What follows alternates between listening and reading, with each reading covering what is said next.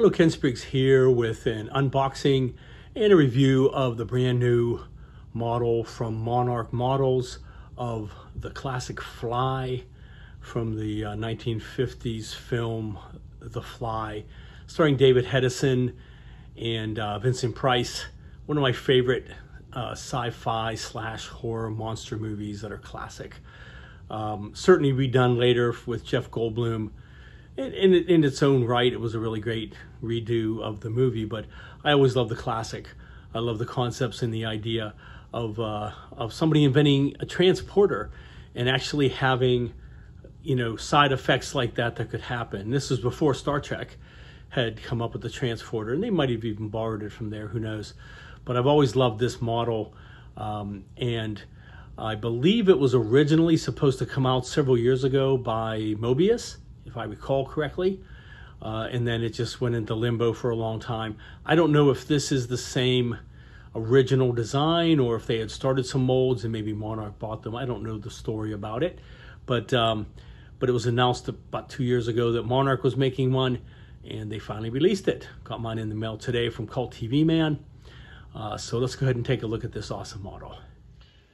All right, so I just got in the mail today from Cult TV Man the brand new model from Monarch Models of the Fly from the classic 1950s movie film with David Hedison and Vincent Price. I've been waiting for this model for quite a while. Uh, I believe that it was originally supposed to be coming out from Moebius. I'm almost certain that it was. I recall back several years ago them talking about it. I don't know if this is the same molds or the same beginning or if this came over to Monarch. I'm really not sure. But I know about a year or so ago or more, they started talking about making it and, uh, and finally released it. So really, really cool. Really excited about this kit. I love the classic monsters and uh, and The Fly was always one of my favorites. I always loved that that film. Uh, so many clever parts to it.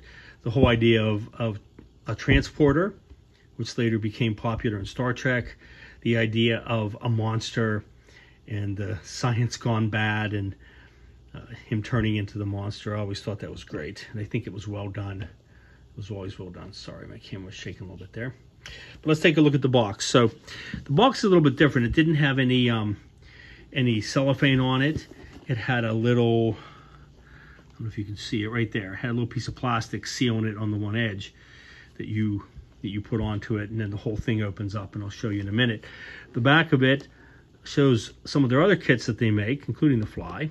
You got Sinbad, Nosferatu, Gorgo, uh, Castle Mare or something like that, King Kong of course. Um, and then the sides just have the same image of the character, of the fly. All right. I like the cover. It's really cool. Um, it doesn't show the whole design of the model, how it looks built with the display that it comes with, but that's fine. It's cool. I really like the colors and how it looks. So, and then the box itself opens up sort of like on a hinge. So it's attached on the back. That's why they only had to have the, the sticker on the one side. They didn't have to have it over on the whole thing. So, all right. So let me go ahead and take all these out and we'll take a look at the different parts inside. All right, so the model is made up of five different sprues uh, and they are different colors. I'm not sure if there's a reason for them being molded in different colors or not, if it makes a difference, but, uh, but we'll take a look at those. Uh, there are no clear parts.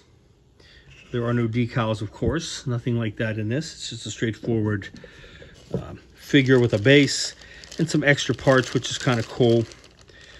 So let me um, open this up.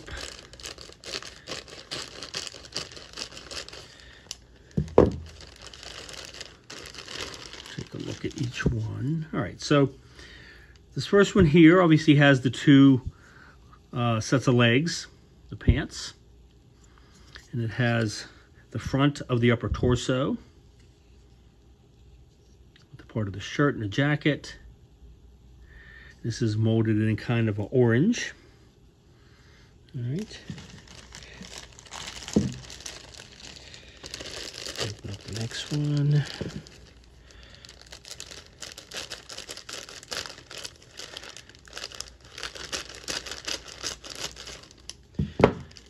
This one is also molded in orange. And you have a his his lab coat.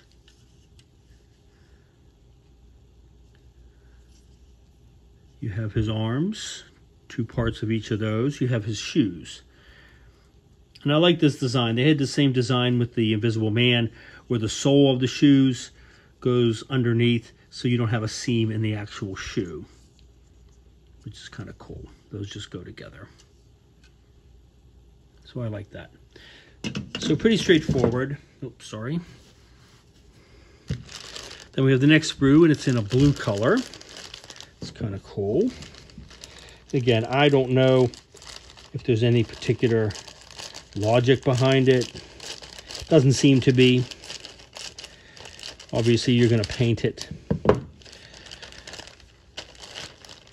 and I'll I'll definitely be looking at the at the film going over it again and uh, kind of getting some ideas for the colors doesn't have to be totally accurate so all right you've got um, his head part of his head the fly head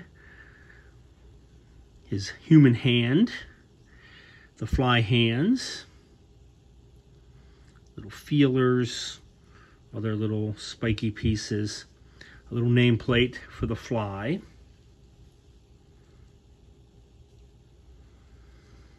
These other parts here. These might be the eyes. I'm not quite sure. I believe these are parts of, I'll show you when we get the instructions. There's some cool little add-ons which actually come from the original fly and the return of the fly where you have the spider in the web with the little the little fly crying for help, which is always super creepy. You have a, a hamster, I believe, or a possum or something that had some human hands that um, was from the second film. Second film wasn't as good as the first one. I never really liked it as much. But you've got the, where did I see that at? There's this little spider here. Oh, you got little teeny hands. I believe these little teeny hands are for the for the whatever that is, possum guy, which is creepy. Some of the little teeny parts. We'll look at the instructions and get an idea of what goes with it. Not sure what that is. A bunch of little parts, little feelers, little whiskers. I might try to do something with a some some fake hair like from a brush or something make his face look more bristly and hairy. You have part of his machine that's broken that goes with it as well. So pretty cool. All right. Then you have the parts for the base.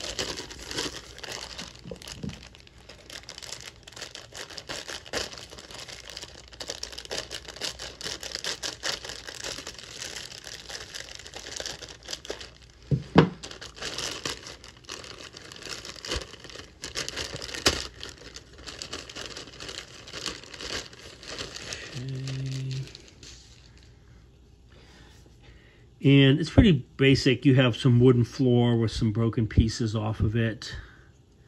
it looks like a book. An axe. Yeah, because he used an axe to break up his machine towards the end. Some other parts of the controls, I think, that sort of thing sure what that is. Oh, it's his tie, I think. Yeah, his tie. His tie is kind of sticking out like it's in an action pose and it's flying up in the air, so that's kind of cool. And that's in a red. All right. And then we have the last one.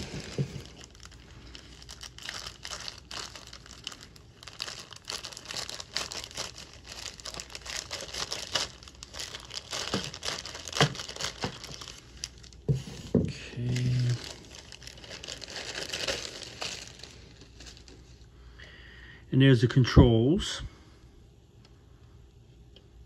I think these are just like the wall panels for the sides of it. You have the front, little spider web. I think this is where you're supposed to put the little little spider going after the fly with the human head on it. all right. And also in some red. So, all right. So pretty straightforward, pretty cool. All right, so then let's just look at the directions, the instructions. All right, so here are the instructions. So it folds up and then you have basically it's just a one fold out for four pages. And on the back, you have a little diagram of how it goes together. Some ideas for painting it.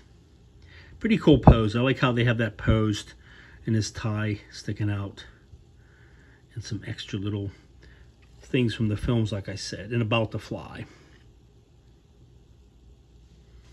That's pretty cool.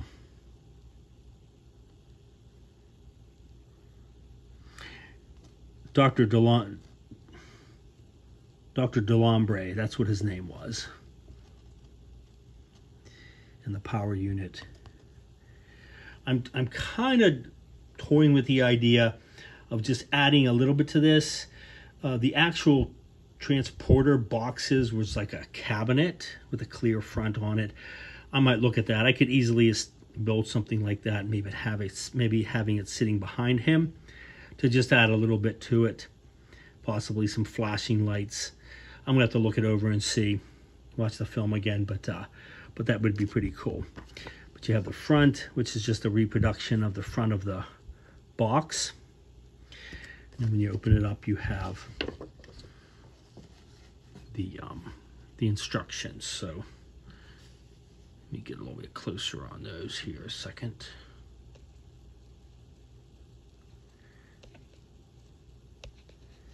Come on. There we go. That should be good. Okay. So let's kind of go over these a little bit. So not too complicated as you can see. Pretty straightforward. So the first thing they have you do, you just put together the, the basic parts of his body, his legs and his upper torso and his shoes. Pretty straightforward. Uh, and then the coat goes on the back. So you don't have a back of the upper torso. It's a part of the of his lab coat. His two arms, his tie. You have his right hand, which is a, a human hand still. His claw, which is assembled, and that's kind of cool. So you have the two main parts. You have these other parts sticking out. These other little teeny spiky parts sticking out. And likewise, like I said, I could put some bristles on it because that's what I always kind of remembered from it. It was kind of bristly looking and like hairy looking, like a fly would be, and kind of gross. Then you have the head, you have another front part of the head and the top part here, some little antennae, the, um, the little maxillary palps, as they call them, the labellum. These are all little parts that go on his mouth, which look kind of creepy. And in the film, they were kind of quivering, which is always kind of creepy.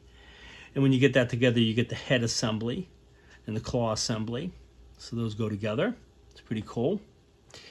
Uh, then over here, it's really tiny, it's hard to see, but you do have the little spider and you have the fly that has a little little tiny human arm and a tiny human head. Looks like that's just one piece.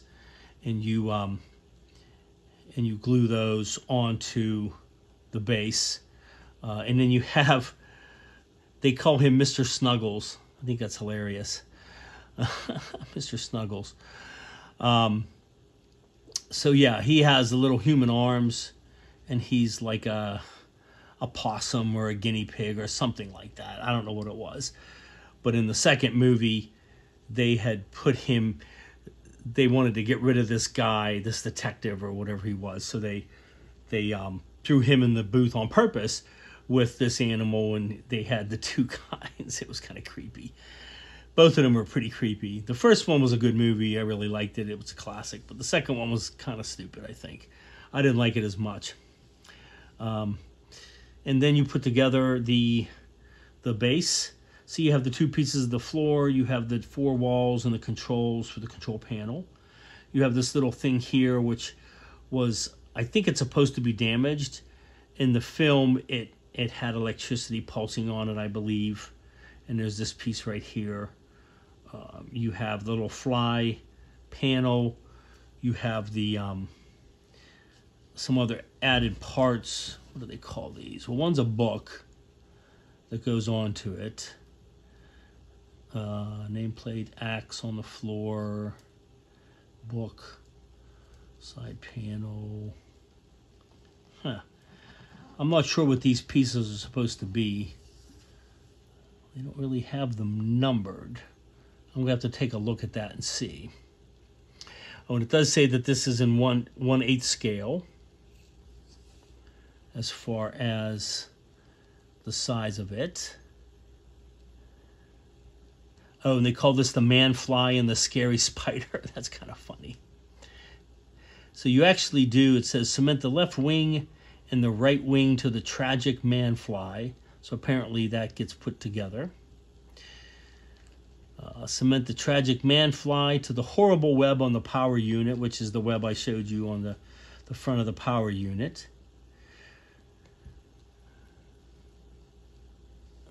Front panel, and then it says "Help me," which is always really creepy in the film. that tiny little creepy voice, and he had superimposed David Hedison's head onto this this fly in a web, and the creepy spider coming at it that's that's just like indelibly burned into my memory how creepy that scene was. Uh, cement the scary spider to the power unit front panel as well. Then you assemble the base and you have these different things. Yeah, these might just be a stack of books. I think that's what that's supposed to be. And that's supposed to go down on the table as well. I guess showing you that he, throughout the movie, I remember now, he did sort of have these, he's, his lab manuals that he was using to try to figure out where he had gone wrong and how he could turn himself back and going over them over and over again, trying to help it, trying to resolve it. So, yeah. So when you see on here, yeah, so you have a couple of stacks of books. You have the open book on top. You have the little Mr. Snuggles. You have the axe. You have the little framework. It's kind of hard to see back here behind him. And you have the control panel and then of course the the man the man fly and the spider crawling up towards it. Really cool, really creepy.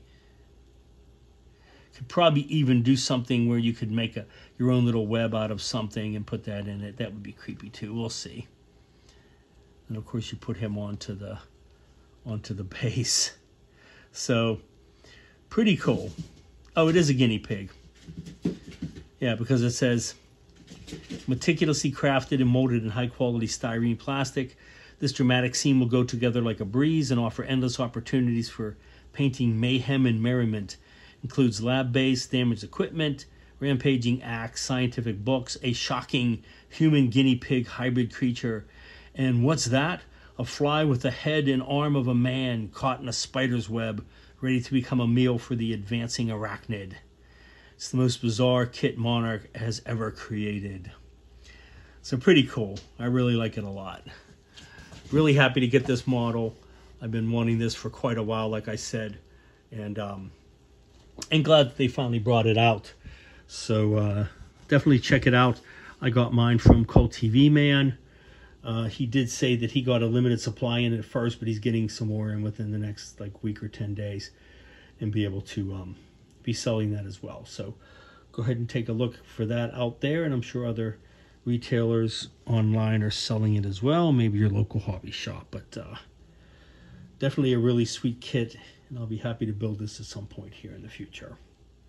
All right, so now that I've looked at the instructions, one more thing I wanted to show you so I can get a better idea of what these are supposed to be. So there's the the spider that's going after the the man fly there's the man fly, pretty creepy looking. you can see he has a human arm on the left side.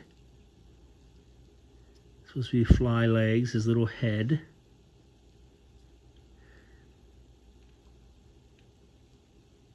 Kind of some some features on his face. see if I can get a little closer.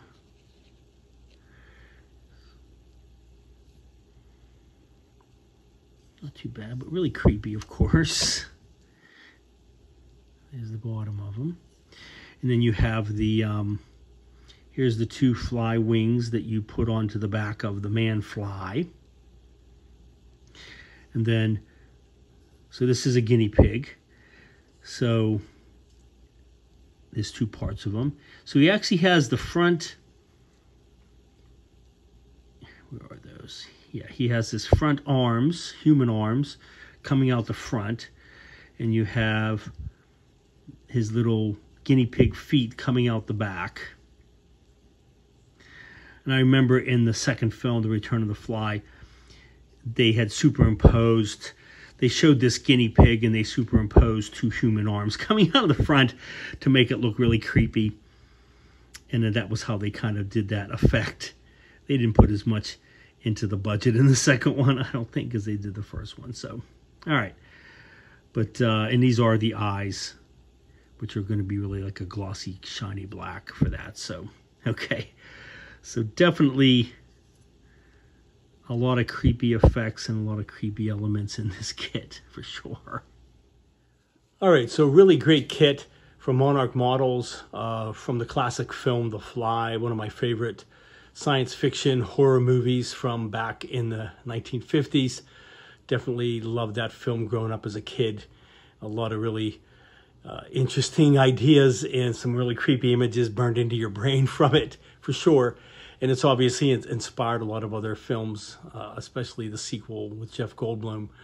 Uh, so I'll be excited to build this somewhere down the road uh, and put it together and, and probably do a little bit of modification on it. So um, if you're interested in looking for this kit, uh, it should be starting to be available now. Uh, check out Cult TV Man. I will put a link in the description. Uh, they did say they had a limited supply at first, but they're getting more in in about a week to 10 days. So they should definitely have some of those. Uh, or check your local model shop and pick up this great model. Uh, definitely a must have, and it'll definitely add into my other ones like The Invisible Man and uh, my classic Thing from Another World and my John Carpenter's The Thing uh, in those kind of classic horror monsters which I do want to do more of, of some of the other ones as well in the future. So, all right. Well, thank you to all my new subscribers and stay tuned.